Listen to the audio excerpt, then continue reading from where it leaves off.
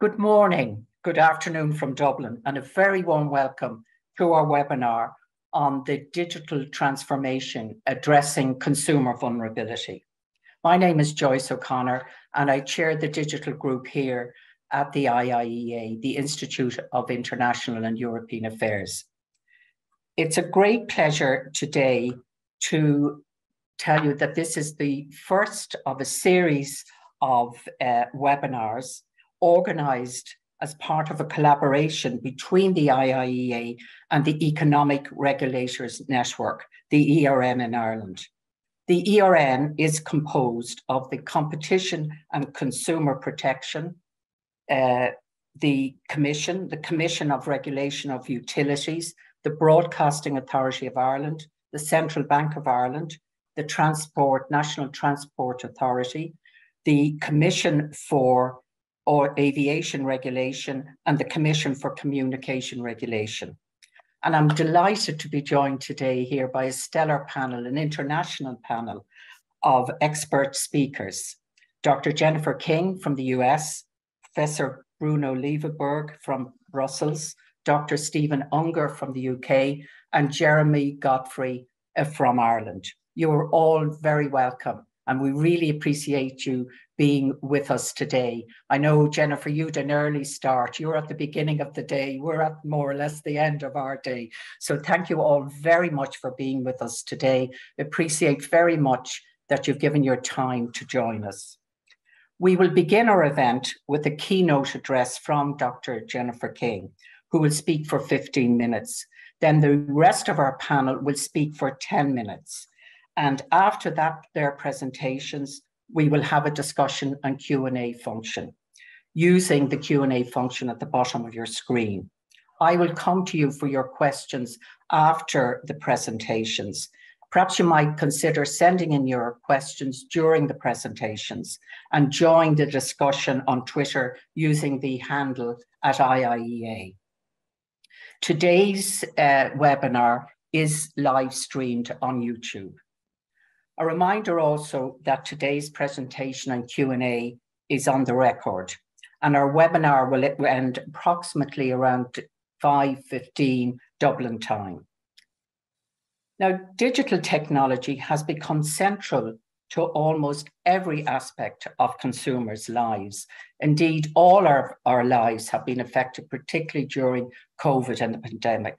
And the focus of this webinar is to discuss the digital transformation and how it impacts on consumer vulnerability, navigating the issue of consumer vulnerability and protection in our digital area, era requires regulators to develop a common understanding of the landscape in which the digital economy will thrive while mitigating the risks surrounding consumers' fundamental rights. Our speakers will address these key issues the challenges and opportunities posed by these emerging technologies, like AI driven applications, robotics, IoT, the increasing role of data as an economic asset, the role of the metaverse, and the central position of small number of companies, key online platforms, and the relationship with consumer vulnerability. Topics that will arise are the efficacy of consent, dark patterns or manipulative interfaces, personal data and how it can be used to a consumer's detriment, platform dominance and the lack of effective data portability, and the role of competition versus the role and regulate of regulation, and indeed much more. So today's keynote speaker is Dr. Jennifer King, a recognized expert and scholar in information privacy. She is the Privacy and Data Policy Fellow at Stanford University Institute for Human Centered Artificial Intelligence and the former Director of Consumer Privacy at the Center for Internet and Society at Stanford Law School. Very welcome again, Jennifer, and we look forward to your presentation. Jennifer will set the scene and, among other things, will discuss what is it about online which makes consumers vulnerable the increasing role of data and personal data as an economic asset, and dark patterns or manipulative interfaces, which can include interfaces for quitting subscriptions or indeed declining to give consent. Dr. King, we look forward to your presentation. Thank you so much. Uh, good morning in Ireland. I'm good morning from California. Good afternoon in Ireland. yeah, I'm still getting going here. Uh, yeah. So I really appreciate the invitation to open this event today. Um, and so as an information scientist and researcher, my work focuses on both information privacy and manipulation and digital interfaces. And I must say that over the past decade, these two issues have become more prominent in many of our lives, certainly the, more than I maybe even anticipated myself. Um, and certainly not less, as, as you noted, most aspects of our lives are mediated by digital technology. Uh, before we discuss consumer vulnerability today in depth, I want to take my time to lay the groundwork for the discussion by talking about the factors that can make consumers uniquely vulnerable in online environments, as opposed to offline environments. And so manipulation and deception are nothing new in the consumer context, but for the purposes of our discussion, I want to put aside cases of flagrant deception or fraud, um, since those are uh, often not contestable. Um, you know, you can often recognize fraud when you see it. Um, because what I think is motivating the concerns of this panel today are the sense that legitimate enterprises are engaging more often in these unique and sophisticated forms of online manipulation that tips the scale in their favor at the expense of consumers. So first, what makes consumers in online environments vulnerable as opposed to those in offline? So I'm going to walk through um, several examples. Most of this work is drawn from Stanford researcher BJ Fogg, who actually developed the field of online pers persuasion almost 20 years ago. Um, so interesting, there's nothing new under the sun if you want to think about it that way. Um, so while Fogg didn't advocate for the unethical use of his work, unfortunately, one not, cannot say the same of many of his former students and disciples, uh, many of which have uh, come from Stanford and gone to form fairly large companies. Uh, so his insights about online persuasion tactics have been very widely adopted by industry. And in many cases, these cross line from persuasion, which we define as an attempt to change attitudes, behaviors, or both, into outright coercion and manipulation. Okay, so how has ex the exploitation of consumer vulnerabilities proliferated in the online sphere? So to begin, online, unlike offline commerce, online commerce is available to us at times and places previously impossible. And so while we haven't yet reached a world where the instantaneous delivery of drones or by drones is possible, although my understanding is that's actually being tested here in California. Uh, so we'll see uh, how quickly that develops um, we are more accessible to online services than ever before. So if you combine that high availability with buying experiences that increasingly, increasingly lack friction, there are just simply more opportunities for us as consumers to make impulsive decisions or to make decisions that where we're not necessarily in our best frame of mind. And so the context of you deciding during the daytime to go to the shops um, is a much different one from when you think about it being 11 p.m. at night uh, and you're browsing an online shop, you know, from the comfort of your couch. And so those different contexts kind of put us in different in different settings essentially. Of course, marketers and designers know this. And so they use research findings about human decision making, as well as about how we consume and process information online to take advantage of known biases and shortcuts, also called heuristics, in our decision-making processes to design interfaces that capitalize on these flaws. And this is where we see the area of dark patterns emerging. You know, design patterns that essentially are designed with those heuristics and biases in mind to take advantage of instances where we make decisions impulsively or are just more easily tricked. And so the ability of online platforms to study consumers at scale and to further refine those designs um, increases purchases and conversions, um, which has led to this proliferation of dark design patterns, uh, also called manipul manipulative design. To be clear, many of these insights are derived directly from industry research um, and practices, and not necessarily from academia. And so basically they're part of this immense online experimental lab that we all more or less unwillingly participate when we use websites and mobile apps. And so, you know, every time you click on a link on a large platform, you know, that behavior is observed, it's recorded, and it's used to kind of fuel more intelligence about how people and why make particular decisions. And so our behavior is observed, it's recorded, and it's analyzed in exquisite detail. And that yields these population level insights about why we click on things, when we click on things, and potentially um, you know, what motivates us in doing so. But to be clear, this population level data is really only part of the story because now companies have substantial intelligence about consumer behavior at large. They also have substantial data about us all as individuals and how we conduct ourselves online. And so while you might be engaging in that late night couch shopping, you can be targeted not only on the basis of that context, that it's late at night, that you might be more vulnerable to something that you weren't at another time of day, but also on the factors that are unique to you as a consumer. And so it's well established that we respond as people to personalized, offers more readily than generic ones. And being able to tailor ads and offers that are unique just to you is a very powerful tool, especially when companies claim to have the ability to make predictions about your wants and needs that you may not even be consciously aware of having. And so, taking stock of all this for a moment, I'm painting a picture of what I would consider a very unlevel playing field between consumers and companies in the digital sphere. So, on one level, you might consider this just to be highly persuasive, but not necessarily manipulative or coercive. So, yes, companies know what makes us buy. They may even have kind of an extra power boost in knowing what specifically makes me click on something as opposed to you. Um, but the case for persuasion really relies on free will.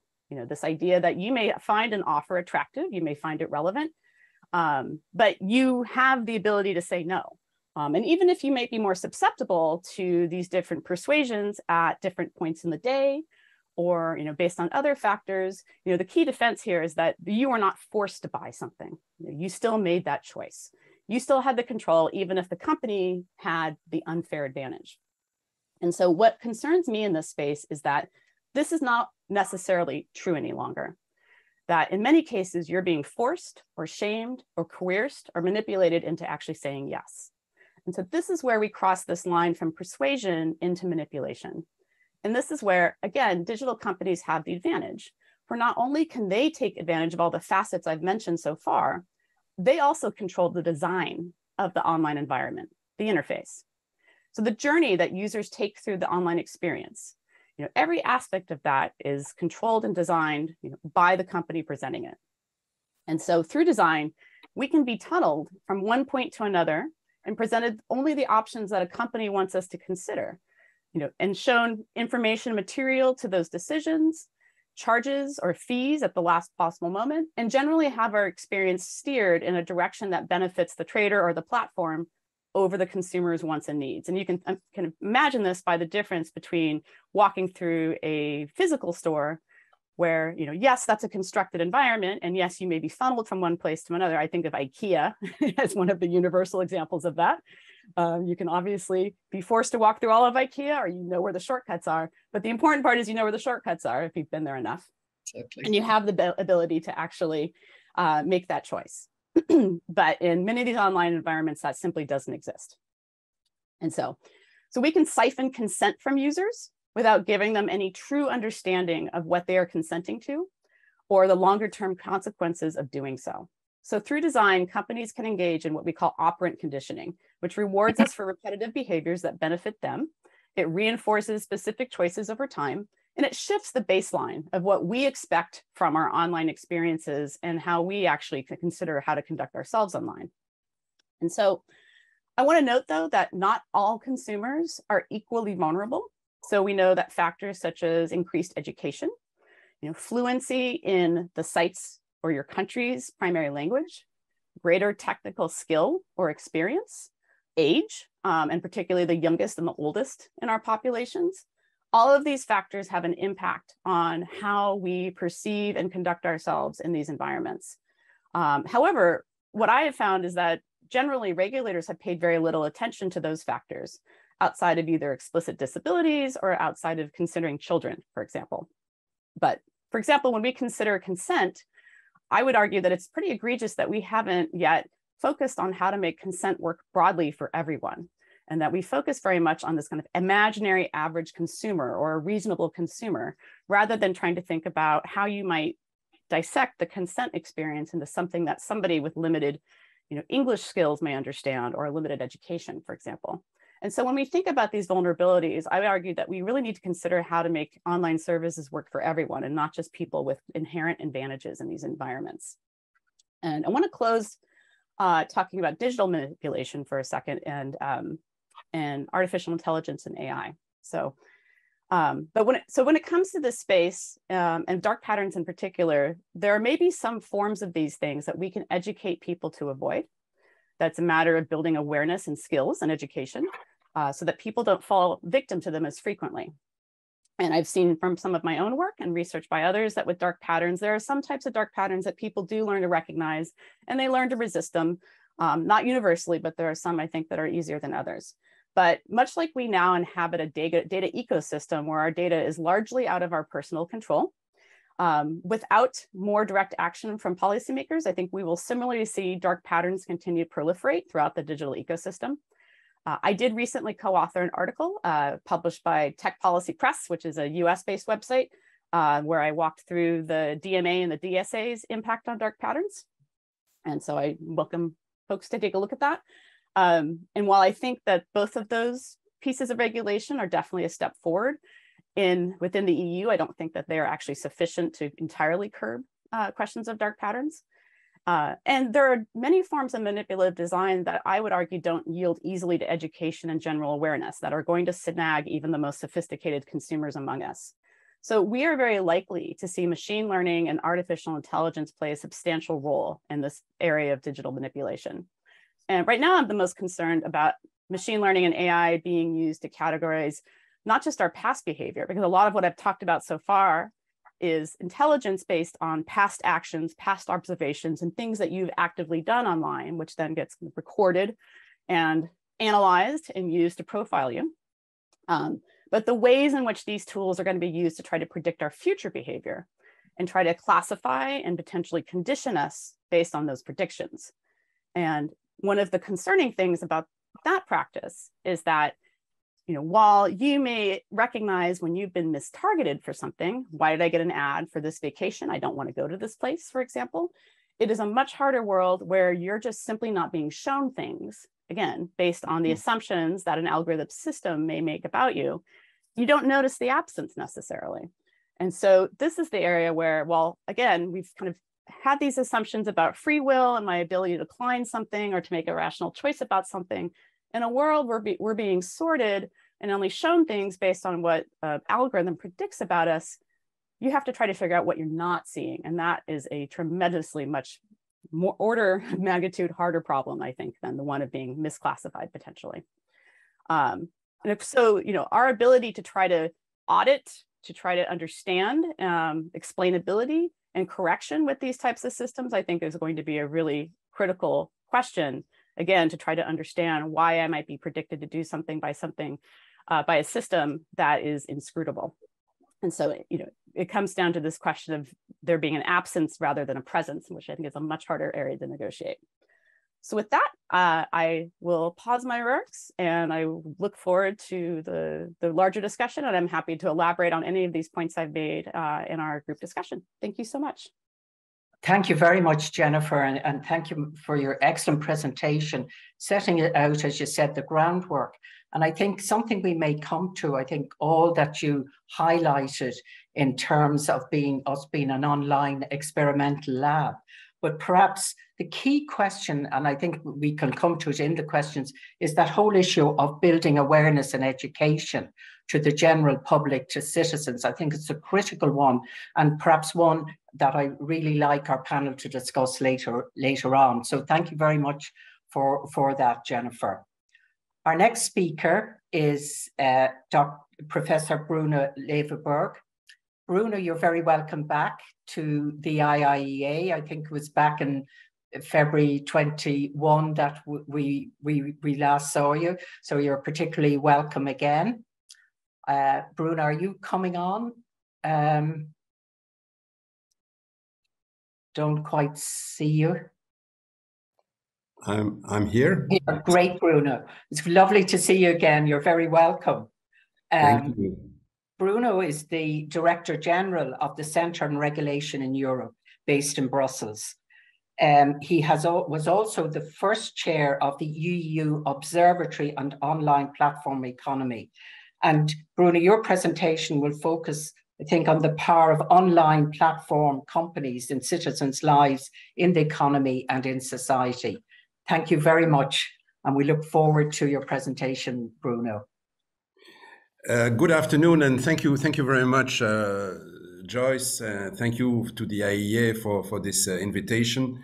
Um, it's indeed the second time that I have the pleasure uh, to to talk on your on your platform, and it's it's always a treat, and in particular with my my great colleagues this afternoon.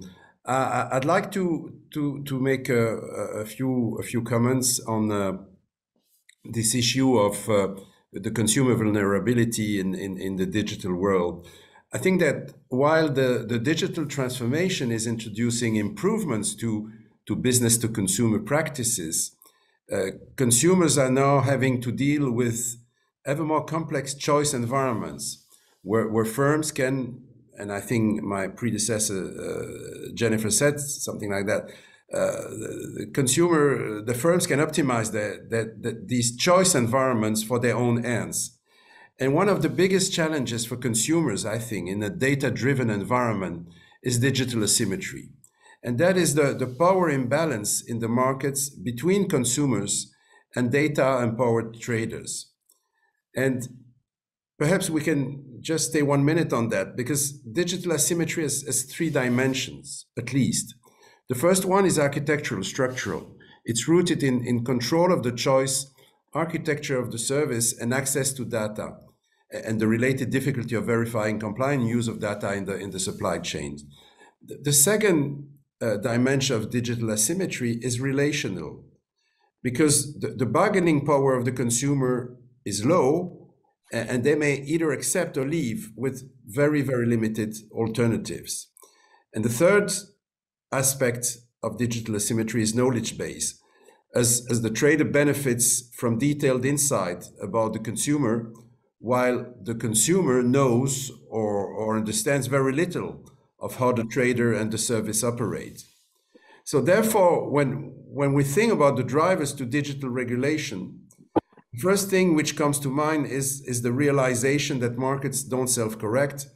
And the second one is that platforms may not self-regulate. But I think, and this is this afternoon gives us the opportunity to, to, to talk about that, that there's a significant third driver. And that is that even if markets function well, they will not do so for everyone.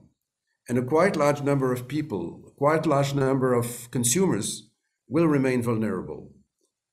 Initially, one thought that vulnerable consumers were a small subset of population with uh, identifiable characteristics. And the challenge was to find them and, and, and target interventions to protect them and help them make better choices whilst allowing the rest of the population to, to continue to engage freely with markets. And, and the big questions were, but I think they're still valid, is number one, whether you can make markets work better for vulnerable customers. That is, by getting them more engaged or, or informed, or whether you accept that the market is unimprovable and then have measures to protect vulnerable consumers from its worst effects. Second point, how many of us are actually vulnerable and in what circumstances? It changes very much because the context is different.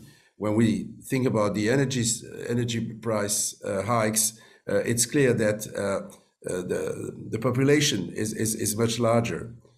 And the last point was how to preserve the benefits of the market whilst intervening.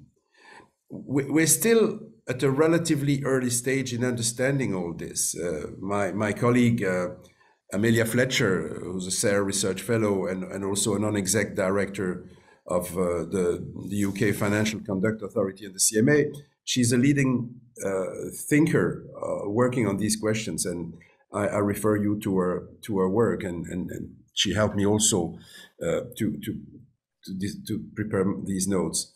But now, focusing again on consumer vulnerability in digital, there, there, are a number of points I would like to make. The first one is that digital exclusion and inability of people to access markets, markets at all because, for instance, of lack of broadband connection or uh, unwillingness to, to engage at all.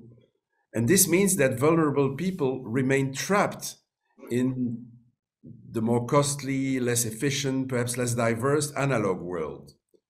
And similarly, digital illiteracy is an issue. And when I mention it, you, you immediately realize that, of course, we have to care as much as possible about children when we think digital. But children are, are not the only category which is vulnerable. A vast majority of the elderly population is concerned as well and can therefore fall in the category of vulnerable. Second issue once people can access markets, we, we realize, as I hinted at one minute ago, that we are all vulnerable to the effects of choice architecture, which firms employ to distort our decision making processes. But our concession, our conception of what vulnerability is and who is vulnerable is likely to change and potentially quite, quite radically. Third issue digital gives us more choices than before, but that doesn't mean that consumers will necessarily be better off if the choices are illusory or can be manipulated. Fourth, some people react to digital content differently from others, or we react differently in different contexts. Again, how, how do we protect those that are that are vulnerable and could be harmed while retaining the free flow of information for the rest? Mm. The DSA and the DMA, Digital Services Act and the Digital Markets Act of the of, the European Union, are uh, both directed at these issues. And the DMA the DMA's focus on fairness in terms of the terms of trade between digital platforms and consumers, including vulnerable consum- consumers, that, that's a good hook for further action.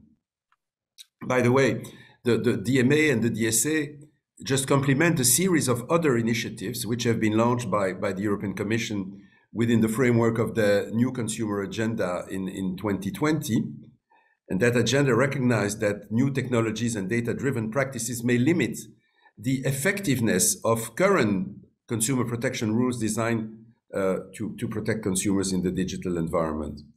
And it stressed also the need to ensure, and that's fundamental point, equal fairness online and offline. And the Commission has launched last May a new targeted fitness check of EU consumer law which focus on digital fairness. And this will look, among others, at consumers' vulnerabilities, uh, dark patterns, as explained by, by Jennifer, those deceptive design patterns, uh, tricks used in, in websites and apps that make you do things that you, you really didn't mean to, like uh, buying up or, or, buying or signing up for something, uh, personalization practices, influencer marketing, contract cancellations, subscription service contracts, etc., etc. Since my voice is starting to leave me, I will I will make I will make three final points on implementation and enforcement of the new rules. Implementation of the rules that I just described will require from regulators new expertise around technical issues such as A slash B testing and algorithmic algorithmic decision making.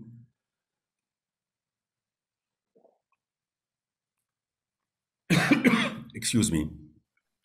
To understand, anticipate, and remedy the myriad of ways that in the online economy consumers can be put at a disadvantage. And the potential is there for regulators to use the same techniques to assess measures to protect consumers or influence how they make choices. And we know the regulators are beginning to acquire resources and organize themselves. And DGCOM is considering a, a, chief technology officer and, and say that uh, the DMA will lead to, to a significant recruitment of, of new digital expertise. Second conclusion whatever upgrade regulators grant to their structure and processes, effective implementation will require a very close cooperation between regulators and the firms and the platforms. And we should not underestimate that. And finally, regarding enforcement, there's an issue about institutional design. Should the enforcement be centralized, as proposed and provided, not proposed, provided for now in the DMA and the DSA? Or should it be like the current system in EU consumer law, where you have a coordination by the, the country of consumption? I'm agnostic on that. Not totally, but I don't think that, uh, I mean, both systems can work. what will not work or is not desirable, in my view, and I will leave you on that, is the origin country coordination. We see it, its limits with the GDPR, and I think that uh, country of origin coordination for consumer protection in uh, digital areas uh, would provide a very limited incentive to efficiency. Thank you very much. Thank you very much, Bruno. I think you've added significantly to our discussion, raising again the issue of the complexity of the environment and, and all that goes with it, but also perhaps again raising issues about the expertise for regulators and how they can use that, add to their expertise, and perhaps use the same techniques, you know, as platforms are doing. And that close cooperation between regulators being very important. And of course, that centralized issue about the DSA and DMA, will that happen? But you've left us with a lot to discuss and think about. And I'd have to say, we really appreciate you being with us today, Bruno. Um, you're, I know you're suffering from COVID and, and its effects. So we really appreciate you taking time to be with us under the circumstances. We wish you all the best for a speedy recovery and take good care. And thanks very much again for being with us. Thank you very much. Thank you. Our next speaker then is Dr. Stephen Unger, who is the chair, the UK chair of the International Institute of Communications. He was previously Chief Technology Officer of Ofcom and Vice Chair of the Body of European Regulators for Electronic Communication. Stephen will explore the area of regu regulation in the digital sector, and he will look at the history of telecom policies and ask the questions what lessons can be learned and what can be applied to digital regulations. He will explore the practical design of regulation and how regulators should address issues. And I think, Stephen, you'll be discussing examples such as the online safety bill in the UK and the implications of the applications of AI principles to the development of AI transparency and explainability. So, Stephen, we look forward to your presentation. Uh, thanks very much, Joyce, and I'll keep it brief because uh, that set of topics could easily cover all afternoon. Uh, actually, can I first commend the Institute uh, for promoting international dialogue on this topic? Uh, one of my roles while I was Ofcom was uh, leading our international engagement. And I must say that despite Brexit, or perhaps because of it, I feel very strongly that the UK, Ireland, the EU, and the US have to work together on these topics to find some common ground. And as what that means in practice, uh, my core argument actually builds on Bruno's closing comments. Uh, and it's that we really now need to focus on practicalities. Uh, a great deal has been said and written about the problems we're trying to solve in the field of digital regulation, and that's certainly complex. But I think an even greater challenge is asking what can practically be done to address those problems. And as part of that assessment of practicality, we obviously need to remember that the internet does deliver some pretty neat services to consumers and they shouldn't be collateral damage. As Joyce notes, I come at these issues building on my experience as a traditional regulator of telecoms and media. I spent about 20 years at Ofcom, uh, and as if that wasn't enough, I'm currently writing a book about the last 200 years of telecoms regulation. And one recurring theme is that it's always been much easier to find problems than to fix them. Yeah. Uh, there have been some, success, some successful interventions uh, during the last 20, 200 years, but also several well-intentioned interventions that have made things worse. There have, for example, been several occasions when regulating companies as if they were natural monopolies has simply reinforced their monopoly power. I can think of several other occasions when we tried to ensure that consumers were better informed by requiring providers to make complex information available to them, only to find that we'd simply confuse them further. So the practical design of interventions is really important. There's a nice quote I'd like to give from uh, Stephen Littlechild, uh, who in 1983, quite a while ago now, uh, provided a report to the UK government on how to protect consumers from, from the monopoly power held by the newly privatised BT. He recommended a particular approach to price controls, which has since been widely adopted, but he also set out this warning. What he said is that regulation is essentially a means of preventing the worst excesses of monopoly. It is not a substitute for competition. It is a means of holding the fort until competition arrives. And he was actually a bit naive about how long it would take for competition to arrive. I think back then we all thought it'd be quite soon. It's still not arrived, but anyway, I still have a great deal of sympathy for the positioning uh, in, in that statement. It's a reasonably, it shows, demonstrates a degree of humility as to how much can be achieved uh, through rulemaking. And that does give me cause to worry about where we are now. Uh, in both the EU and the UK, uh, we've basically moved very quickly in a very small number of years from having almost no regulation at all for digital platforms to having very detailed and prescriptive regulation.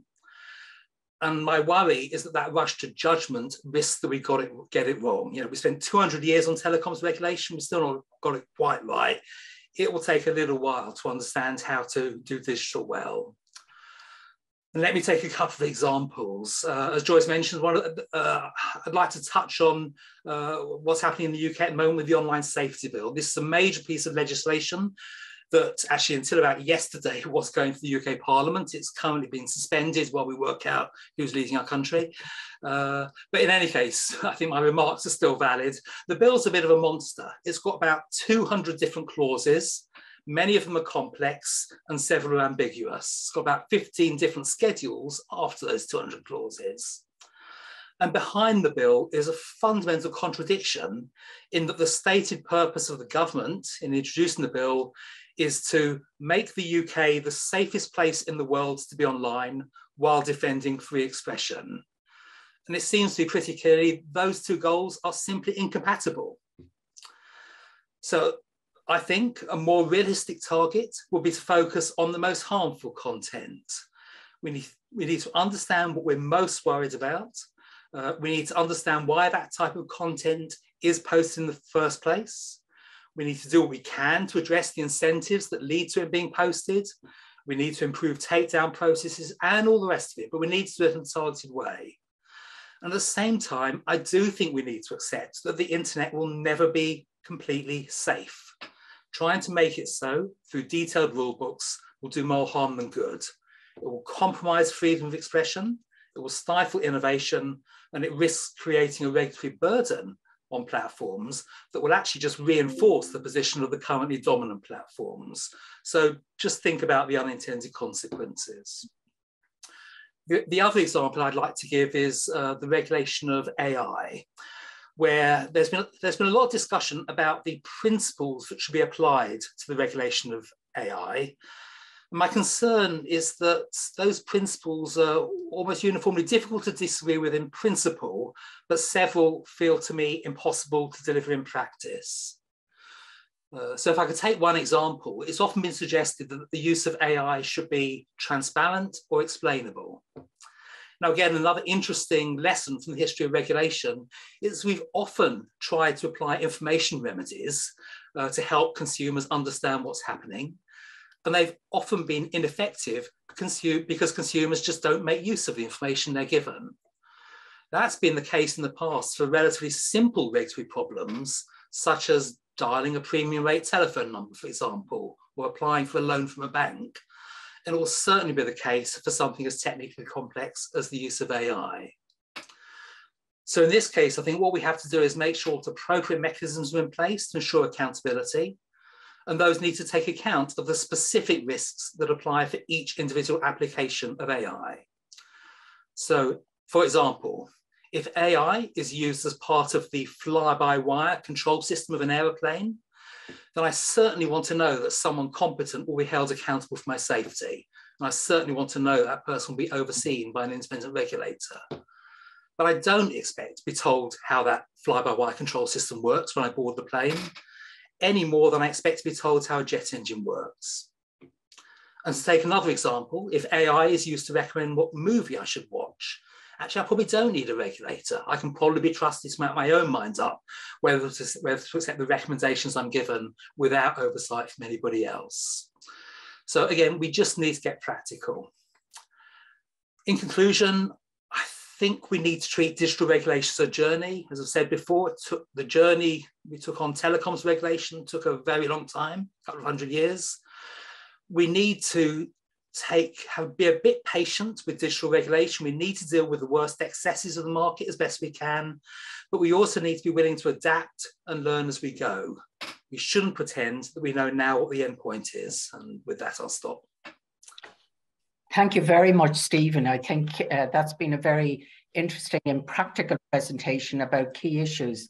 And I think your point that it's easier to uh, find problems and to fix them is one that perhaps we should we should think about. And also that it is about learning on the journeys because i think if we think about the technologies particularly emerging technologies we don't know what they are going to be in the long run.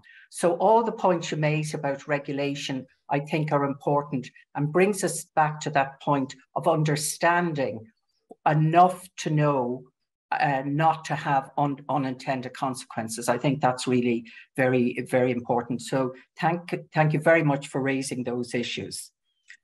Um, our final speaker now is Jeremy Godfrey, and he's the chair of the Competition's Consumer Protection Commission in Ireland. He has over 30 years experience in public service and in the telecoms and IT sector. He was a partner in PA Consulting and worked in the UK with the Department of Trade and Industry and in Hong Kong Telecom and the Cable and Wireless Group. Jeremy will explore the CCP experience and reflection in this area and address what makes consumers particularly vulnerable.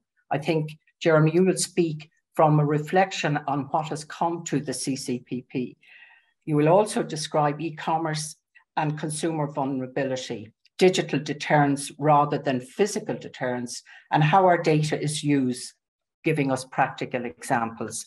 Jeremy, look forward to your presentation. Thank you very much, Joyce, and uh, thank you to the IIEA for inviting me to join this panel and meet some old friends on it. Um, I'm going to start off, I think, just echoing something that Bruno had said, and I think Jennifer also talked about, which is um, I'm glad that this is about consumer vulnerability rather than about vulnerable consumers, because in the right context, we are all vulnerable um, and we all need to be protected. Um, so I'm going to talk first of all about some categories of consumer detriment that we've come across, and then talk about some stuff that might be done. And I'm going to uh, use my take my usual privilege of disagreeing with Steve about something. Um, so, uh, but I'll start off with some consumer categories of detriment. I'm going to start with the more boring and work up to the more interesting type. So, uh, I think in terms of of detriment we see uh, in the online world. Um, one category is old fashioned types of consumer detriment that are exacerbated uh, in digital markets. Um, so um, an example of that that has been particularly uh, we've seen in Ireland came as a result of Brexit. So Irish consumers buy a lot of products um, from the UK um, online. They're, so it's uh, I think they're one of the biggest across the EU for buying from across borders, um, and and a lot comes from the UK. Um, one thing that has happened is that um, some traders um, do not disclose uh, whether that, that, they are now in the from a third country, and that um, customs duties will be payable uh, when products arrive. There was a huge issue um, shortly after um, the uh, trade and cooperation agreement came into force. And we also see some unscrupulous traders using .ie websites to pretend that they're in Ireland, uh, and people then get get stung by that. Um, another example that, that, happens is actually um, from our product safety perspective that uh, in the old world, um, we one of the ways that we prevented unsafe products coming coming on the market was through inspections of container loads of products arriving at the ports. Now, a lot of products arrive um, in small packets, um, and I think there's been some research in other markets that you know 60 or 80 percent of cosmetics, for example, which is a very popular uh, product for people to buy online, uh, don't comply with the uh, the safety, the European safety standards when they arrive. Um, second category is um, is to do with digital content and services. So until quite recently, um, normal consumer protection rules didn't apply to, to, purchases of digital content and services. So you'd have things where somebody would have subscribed to a digital streaming service um, and then the content changed um, out of all recognition and they weren't allowed out of their contract. Or we've seen issues with people buying um, products like in-app coins uh, and the pricing transparency rules haven't been followed or people haven't been able to get their money back you know in the 14 days that they they should have to change their minds. Um, so i'll talk a little bit about how that's changing um, then I think we come to the uh, the thing the the types of uh, manipulative practices that Jennifer and uh, you know talked about so well. I must say um, one of the things I came across this about 18 months ago uh, uh, for the first time, and I noticed that in the in Europe in the unfair uh, commercial practices directive. Um, of course, persuasive practices are allowed. Um, misleading practices are not allowed coercive practices are not allowed, but there's no mention at all of manipulative practices. So a practice can be honest in the sense that it's not lying to you, um, and it can be not coercive, but it interferes with your free will by abusing your um, your heuristics and your behavioral, your cognitive biases. Um, and I'll, I'll, talk a little bit about about about that. Um, one apart from that, um, one thing I, I, will I'll also mention that has, has come across across our uh, across our, we've come across. Um, I suppose a heuristic we often use is just to take a recommendation from someone we trust. So the role of influencers online is quite important, um, and they don't just influence the people who see them.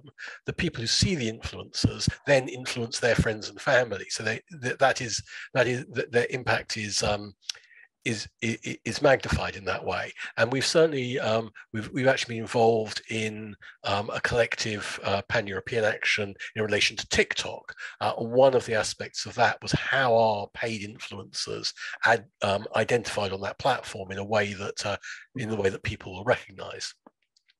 And the last thing I'll mention about a category of detriment is, um, is an insight from our product safety uh, responsibilities. So we're uh, as well. Uh, we, we we are a market surveillance authority for a wide range of consumer goods, including something called the General Product Safety Directive, and that's I, that's quite interesting because it just contains um, an obligation which is you shall not, thou shalt not place an unsafe product on the market but there is no general service safety directive. There's no, there's no equivalent for services. And um, when I think about what constitutes the safety of an online service, it's not just about the harmful content. There's a myriad of features of a service. How is identity and age verification done?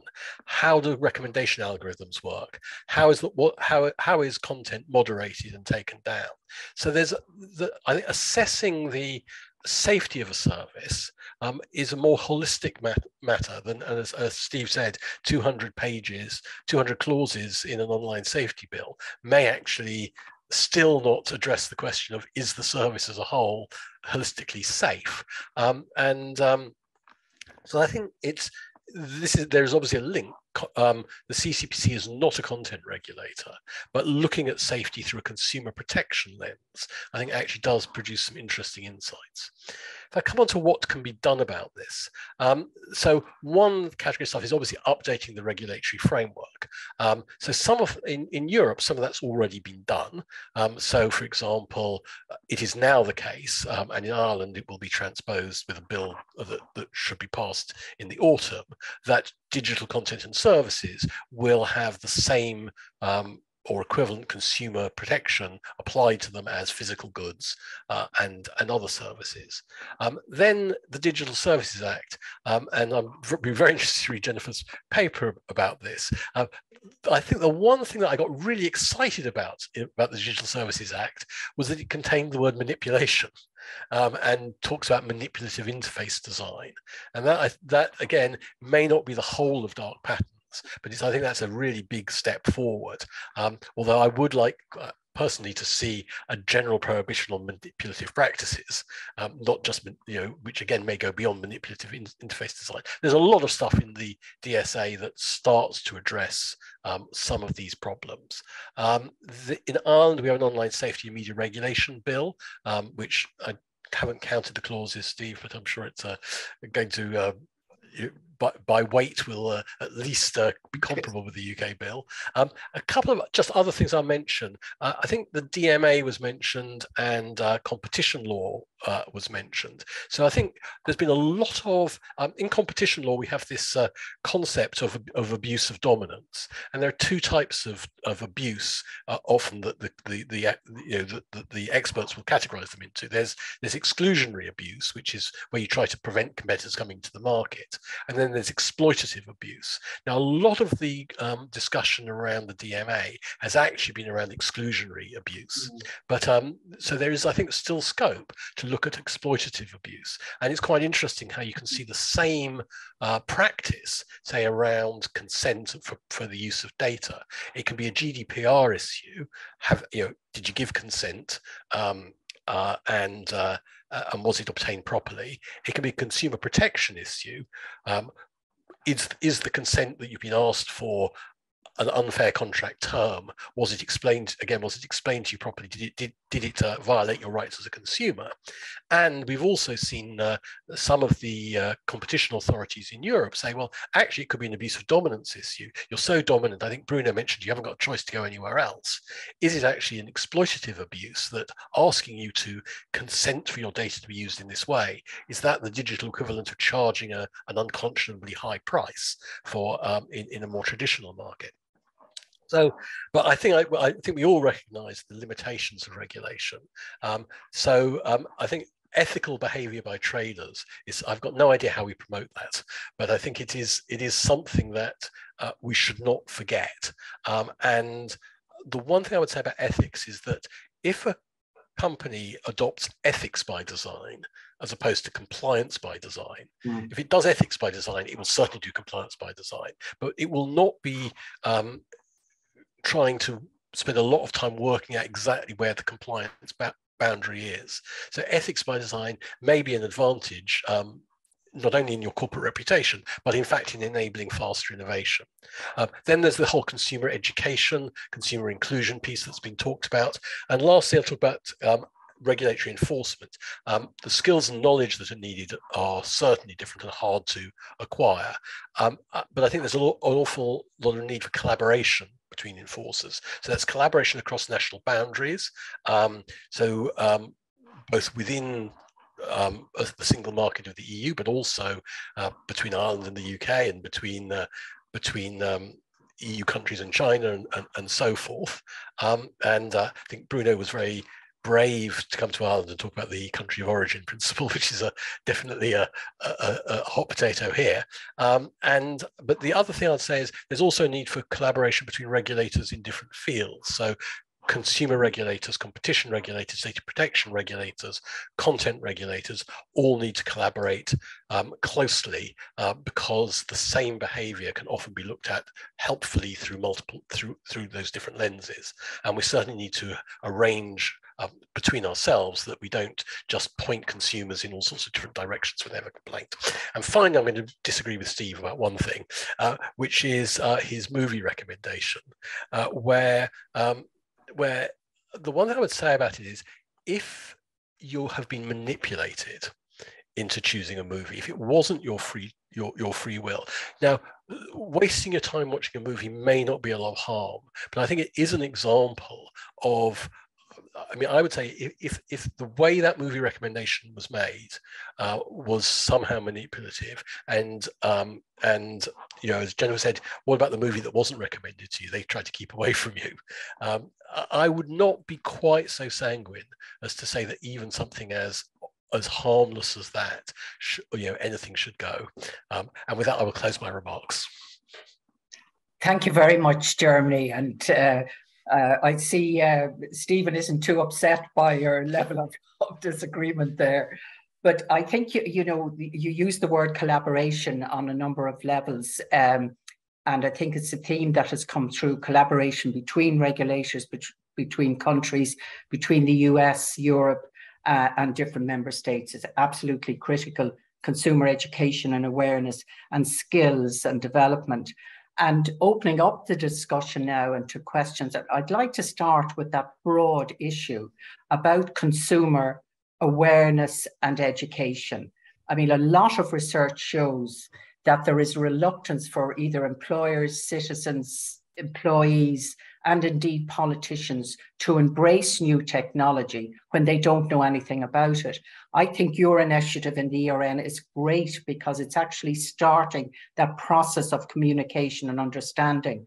But what do you think we can do for citizens in the society to help create awareness of all the issues that you have raised in, in a sense, giving them an overview, not lecturing them, but an overview of the choices that they make and the implications.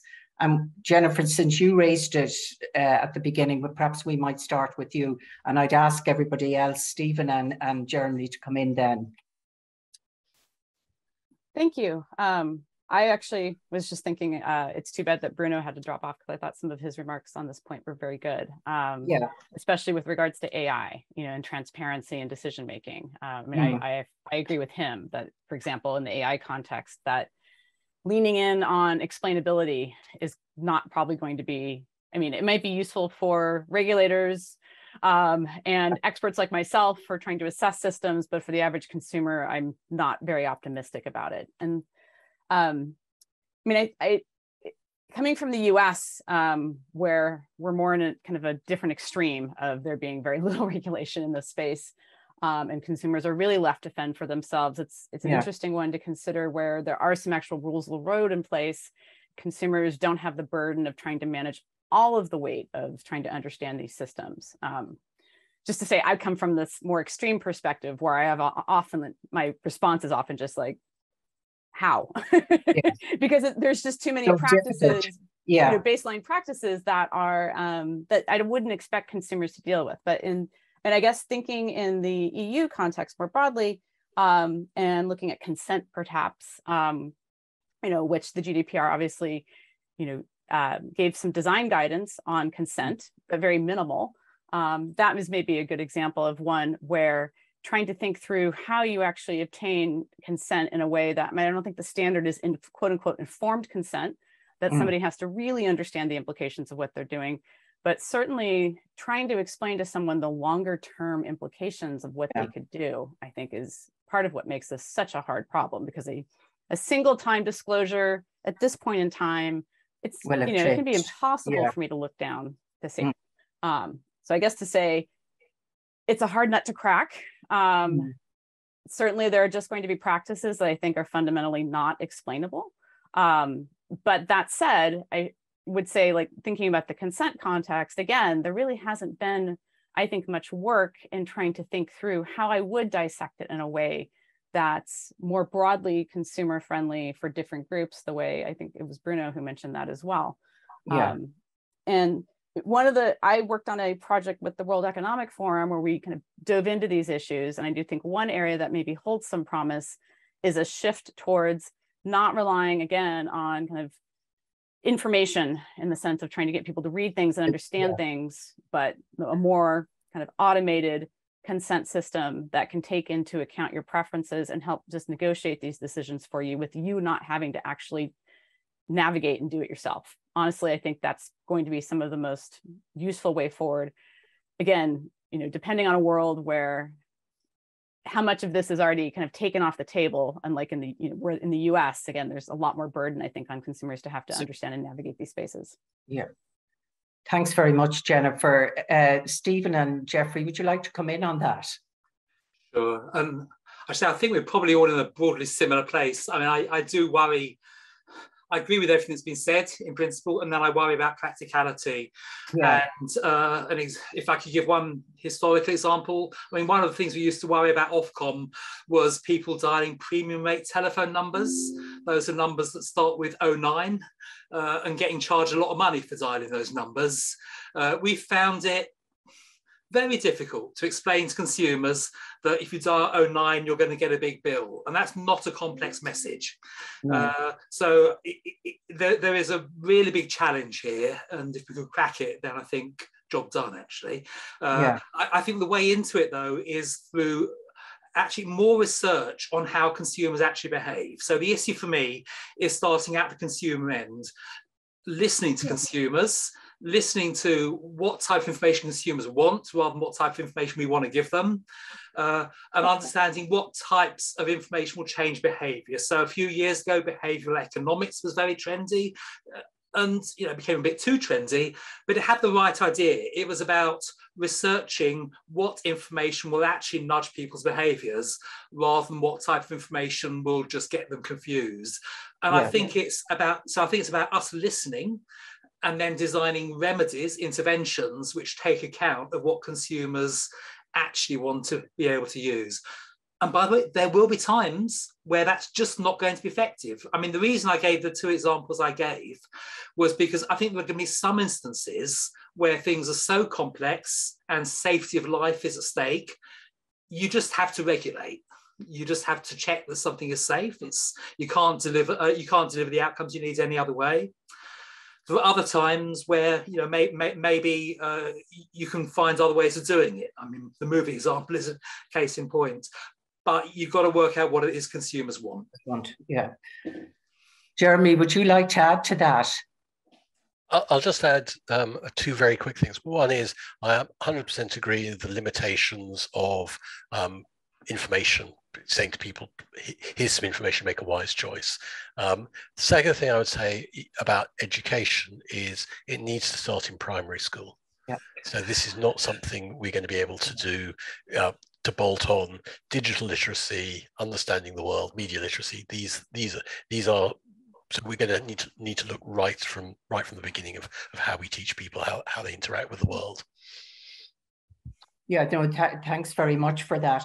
And just before I go to some other questions, I was interested in all of you mentioned collaboration and particularly international collaboration. And how do you think uh, the EU and the US and the UK can cooperate further on the challenges that are happening? Are there mechanisms for that to happen in a formal or indeed in an informal way? Jeremy, I might start with you there. Okay, well, I, I, think actually there's two kinds of collaboration. As I said, there's the international and there's the collaboration between regulators with in adjacent fields. So actually, I think Joyce, you mentioned the ERN, the Economic Regulators yeah. Network. One of the things the ERN spawned was something we called the Digital Regulators Group. So that is a number of us within the ERN. Um, so the communications regulator, the um, the Broadcasting Authority of Ireland, CCPC, and then also the Data Protection um, uh, Commissioner. So we all we're all together, and we're very conscious of the need to collaborate. That we might all end up being investigating the same sorts of behaviour. Maybe we need to have some legal basis for sharing information and and so forth. Um, if we all compete with each other to to recruit um, the digital experts into our into our field, then we will not only be beyond the public sector pay scales, we'll be well outside them. Um, so, so these are these are those those are issues. In terms of collaboration, of course, within the EU, the you know you have a single market with the same rules. Yeah. Um, the collaboration is extremely important. We have we have some mechanisms for it. I mean, the DSA I think does um, does actually say that for the very biggest uh, platforms, the Commission will be the regulator. Um, so I think I think I think um, you get collaboration kind of on enforcement cases. Um, I think internationally, there's certainly a, a, a, a it's good to have um, you know sessions like this and and and and other sessions where people um, learn from each other to the, the greater the extent we approximate our approaches, the better. I mean, people talk about the Brussels effect, um, mm. which, so that when you know is the EU regulation is sometimes something that um, companies, if they have to comply with it in Europe, you know, they they think they might as well comply with it um, in in other markets as well. Um, whether that will quite apply to this sort of, of regulation, I know Steve is looking very um, skeptical about it, um, but but but but certainly certainly. I, I think one of the questions that was posed was what, what impact does regulation have on innovation? Um, yeah. If regulatory regimes are very different in different um, markets, that is clearly going to be more costly um, for for people. But we don't we don't have a, a, an international institutional mechanism for you know like the EU for for requiring people to do do the same thing and and and of course each jurisdiction has its own political processes um, to go through. So I think really the best we will get is um, is information is, is, sharing uh, uh, at the policy level, and we will sometimes have um, joint investigations. So, I mean, that does happen in the competition field, that um, you do get a, a, joint investigation between regulators in the EU and, say, with the UK or America, if, if, if there's some big multinational that is um, involved in in an anti-competitive practice in multiple jurisdictions and people do coordinate. And i could see that happening to some extent. Um, we might end up with some some kind of joint investigations but you know it will need agreements to to enable that to happen Jennifer, eh, would you think, um, you know, the is it the Tech Trade Council? Would that be involved in ter- particularly around privacy, data protection? You know, or is there any other mechanisms that you see from California in terms of that level of cooperation internationally?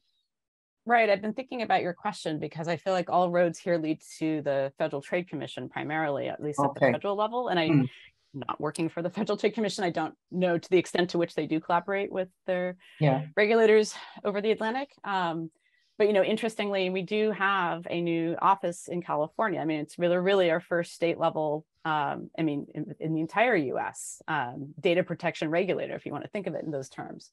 And so that might be one area where we begin to see potential cross collaboration. But I'm not aware of whether you know a lot of a lot of this um, a lot of these cases are brought by U.S. Um, state attorney generals, which I know they do collaborate with each other, but I'm not sure how much those folks also kind of reach outside the boundaries yeah. of the U.S. So yeah. it'll be interesting to see if our California office is interested. An example. Yeah. Yeah. Great. Thank yeah. you very much. I've a, I've a question here now, and I, did going back to dark patterns from Robert Mourik, who's the chair of ComReg. And he asked the question Are the dangers of dark patterns worse regard to content on social networks concerned what these dark patterns can do on e commerce platforms? I'm happy to, to start that yes, one. That'd um, be great. And just to say, so I mean, I would say these are this is an apple to oranges comparison. They're not precisely the same things. I don't know if one would be more dangerous than the other because they have different effects. And you know, so primarily on social networks, we're the dark patterns that have been identified in those contexts are often around information disclosure. You know, so it's about, um, especially if you're focusing on the platform itself, whether it's a Facebook or a TikTok or what have you, um, you know, the, the concern is about what you're sharing with the platform, um, not as much about what you might be sharing with other people, other members, you know, who are using the platform. Uh, but usually it's it's a question of information disclosure, whereas in the e-commerce context, it's much more a question of the harms I might suffer from, you know, primarily a loss of, of money, right? By being scammed, defrauded, uh, you know, overpaying, for example, having being forced towards one choice or another. So I don't think they're they're you know necessarily. I would think of them in different categories, um, honestly, in terms of their effects. Okay, thanks. Would you like to come in, Stephen or J Jeremy, on that? No, I'll come in briefly. I, I, I found with Jennifer on this. I, for me, the financial effects. Uh, I almost worry about less simply because it's slightly familiar territory. Actually, sort of Jeremy's point, that's a familiar type of concern over the internet, but you would hope that we can repurpose some existing tools to deal with it. Uh, whereas the types of harms we're seeing resulting uh, on social media, I mean, if I think about my kids and the world they're growing up in, those are things I really worry about. Yeah. Jeremy?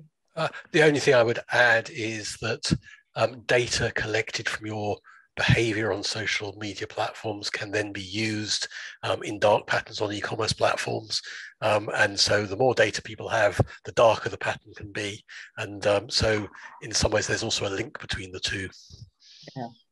Thanks very much. I've got a question here from Mary Brown from University College Dublin, an IIEA member. And she asks a question Is there a place for business stakeholders in the formation of regulation and collaboration? Stephen, I see your head nodding there, so we'll start with you. No, no, sure. I feel strongly there is because it, it seems to be on quite a few of these issues, there is some alignment between what we're trying to achieve and what those platforms that have a brand to protect also want to achieve. Yeah. That doesn't mean we agree. I mean, I take the point that you know they'll design their interfaces to guide people to buy products and all. So you know, so our intents aren't perfectly aligned, but there are quite a few areas of harm which they also need to deal with, if only for reputational reasons. And they understand their platforms much better than we do. So if we don't work with them in those areas, I think we're missing a very big trick. Yeah. And I suppose that's part of the Digital Service Act as well, and digital in, in, in involving all the stakeholders. Yeah. Uh, Jeremy and Jennifer, well, would you like to add anything more to that? I, will just say that I have talked to some companies in relation to the questions of dark patterns, and you know, mostly what I'm hearing is this: like, tell us what to do. Yeah. What is this line between manipulation, coercion, and just persuasion?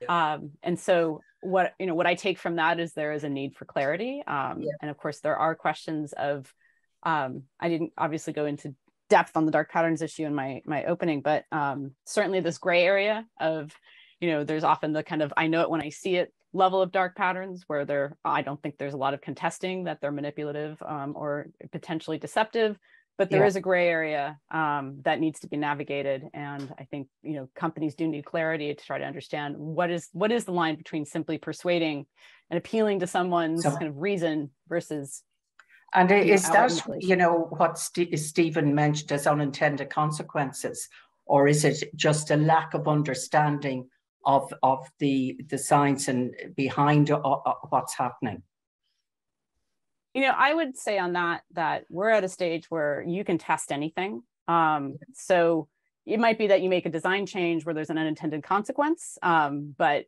you know we're well within the world of where design researchers can absolutely test kind of any design change you make to try to understand uh, its impact. And so if you're seeing a trend um, it can be investigated. And so i don't think that's necessarily an excuse. Um, okay. you know potentially at scale it can be harder to maybe track those things but ultimately, I still think it's, it's something that can be assessed. And uh, just because we're coming up with time, of two more questions. Laura Cunningham uh, from the International Unit in ComReg asked the question, what role will trusted flaggers and trusted service providers have in protecting consumers online? Will these two groups be a focus for di digital regulatory cooperation?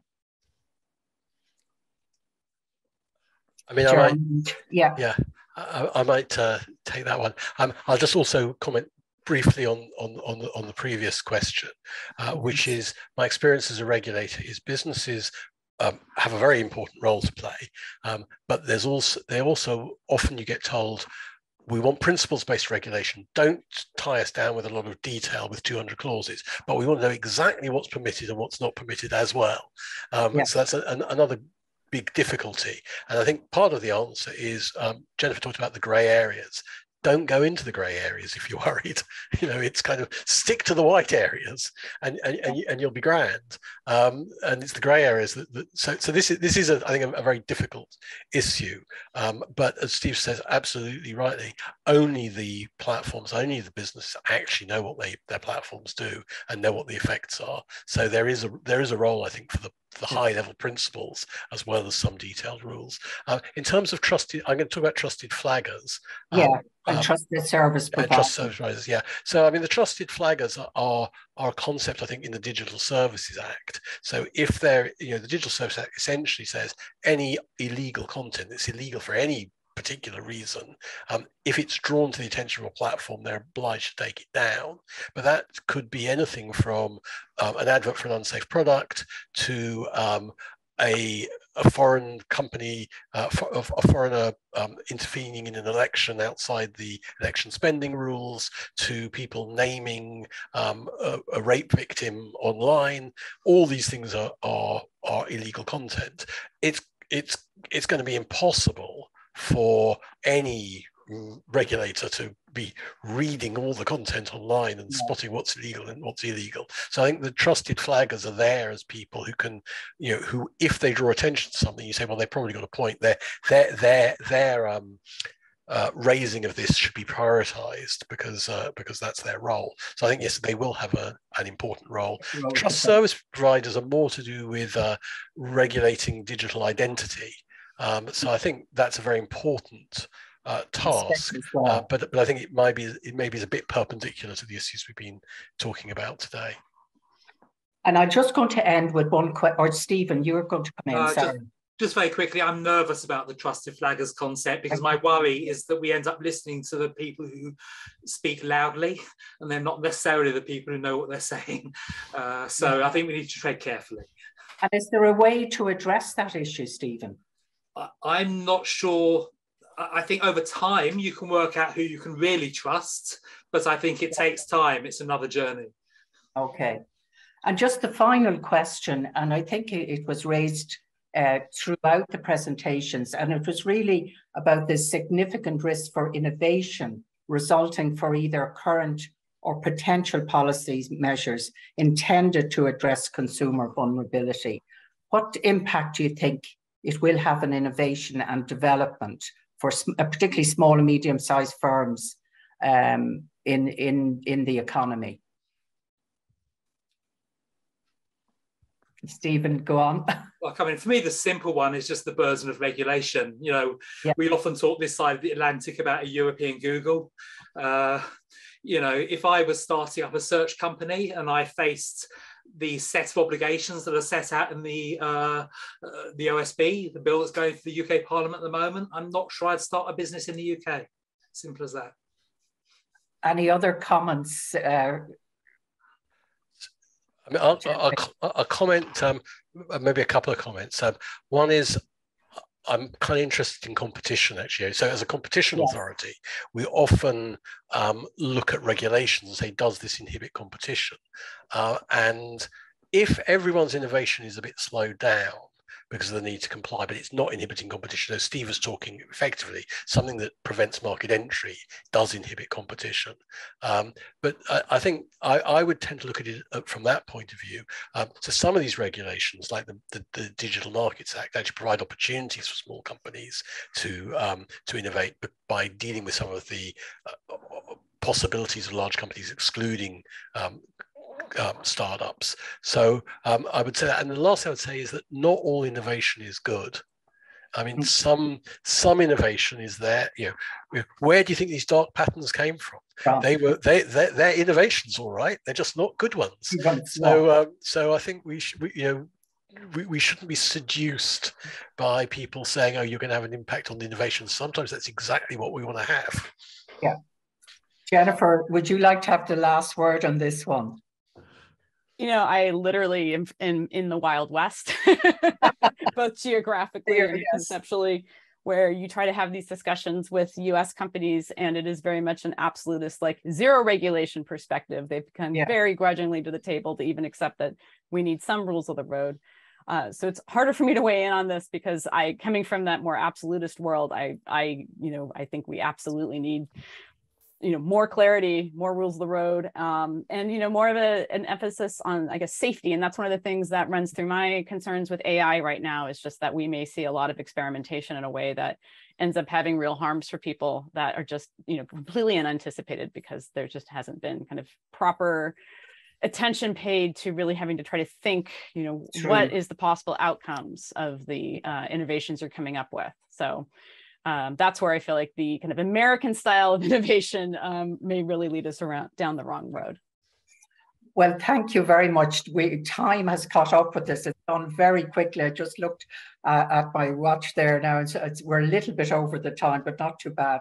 But I'd like to thank all our present presenters, uh, Jennifer, Steve in Jeremy, and Bruno, for your really interesting um, presentations. It shows the power of that international collaboration and discussion, uh, which, which I think um, was highlighted today. And it's the beginning of the series here of the ER, ERN. And I think you, have set very high standards, and it's great to see this series starting. So thank you very much for that. It was an excellent, uh, all excellent presentations and interesting ideas that, that you brought up. Um, I'd like to thank our audience for their questions and for being with us today. Uh, thank you very much.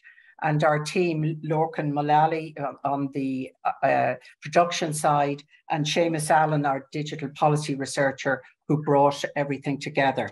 So I hope we'll meet again. Um, thank you very much again for being with us. Goodbye from Dublin, uh, and we uh, hope there will be a next time. And thank you very much. Thank you. Enjoy your thank evening. You. And enjoy your day, Jennifer. yeah. Have a nice day. Bye.